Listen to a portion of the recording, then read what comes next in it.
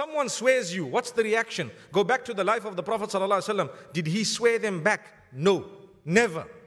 He was not vulgar. The hadith says the Prophet ﷺ was not vulgar. He was not abusive. He was not hurtful with the words he used. But what do we do? We're hurtful with the words we use. Not to those who hurt us, but to people who are innocent, who don't even deserve it, to our own family members, our children, our brothers and sisters, our parents at times, we use hurtful words, abusive words. Why? Not even as a reaction, but as an action to begin with. May Allah forgive us.